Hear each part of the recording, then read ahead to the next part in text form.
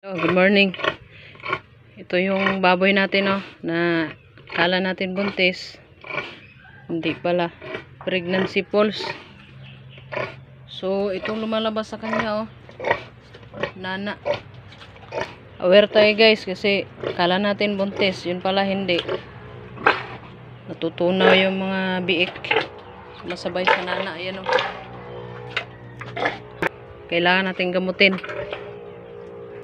Yun oh, para mag landi siya ulit.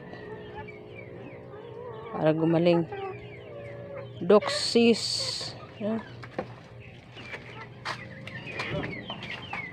Para maglandi ulit. Gumaling. Tanggal ang nana. Yan lang talaga ang buhay. Natin siya sa kanyang ano, kain. Para makain niya.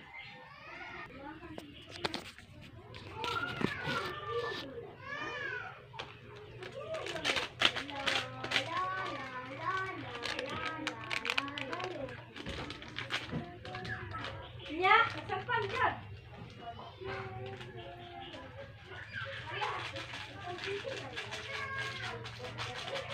you.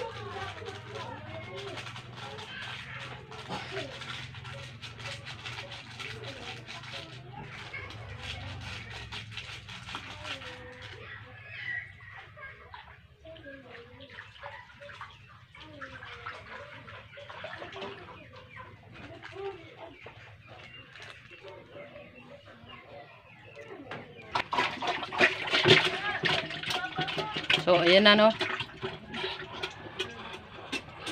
Nalo natin sa kanyang pagkain para lumabas lahat ng nana. Yan yung nana, oh. So, that's all guys. Bye-bye.